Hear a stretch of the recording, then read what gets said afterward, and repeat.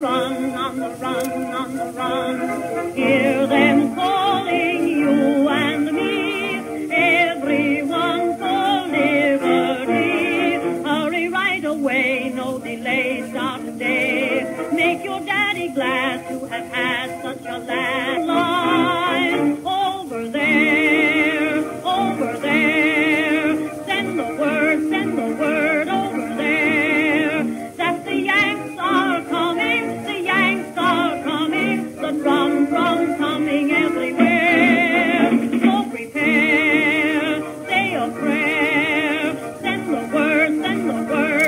September 25, 1915, 20 divisions of French troops from the Central Army Group were sent against six entrenched divisions of German soldiers along a 10 mile front in the Champagne Ardennes region of France. The German forces were outgunned and outmanned 3 to 1, and France planned to use a win in the region as a rallying cry to their forces back home. The battle initially went very well for France, as their armies punched several holes in the German lines after softening up the enemy with artillery fire. However, as the afternoon wore on, heavy rain began to fall, and ammunition for the barrages began to fall short. In many cases, when the French army reached the German lines, they found the trenches empty. German forces used the artillery barrages to predict where the attacks would come. They hid behind bunkers during artillery fire, then emerged to repel infantry once the barrage ended. In this way, the Germans were eager to prove that numbers aren't everything.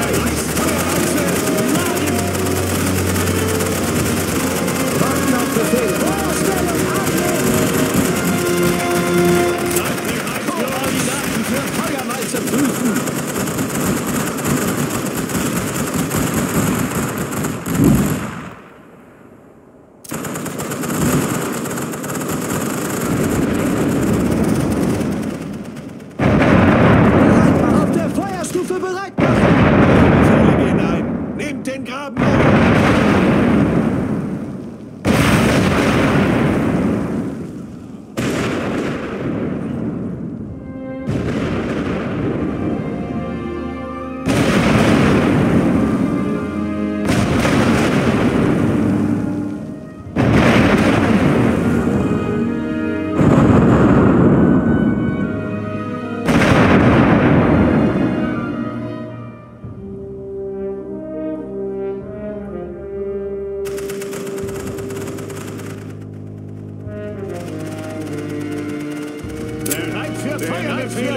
Feuerwalze!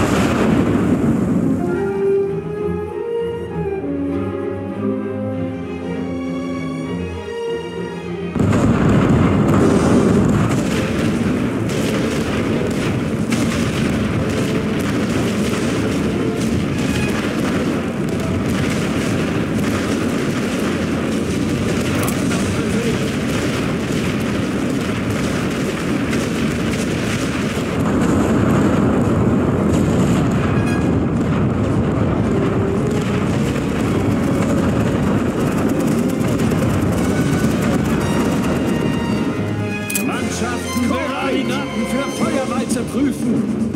Wir haben unsere Ziele.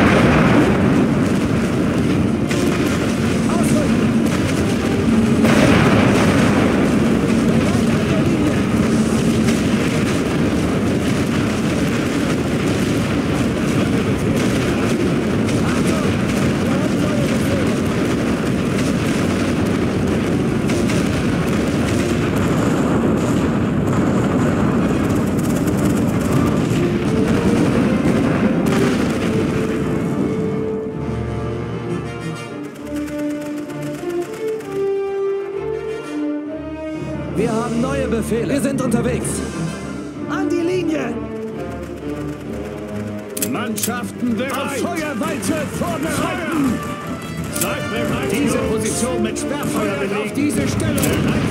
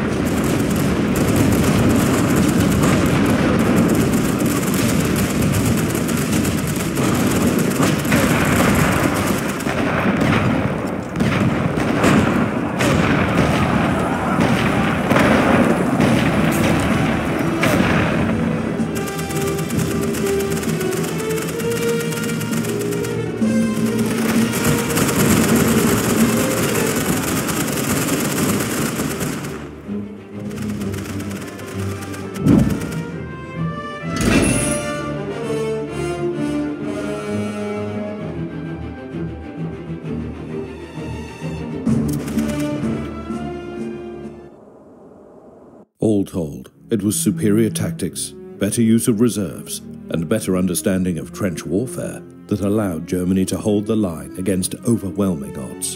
In his memoirs, Chief of the German General Staff, Erich von Falkenhayn, said, The lessons to be deduced from the failure of our enemy's mass attacks are decisive against any imitation of their battle methods.